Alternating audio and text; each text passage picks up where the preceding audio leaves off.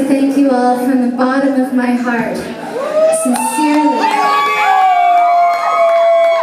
for coming out tonight. And thank you to all the locals for bringing a great crowd. So many familiar faces. Mark,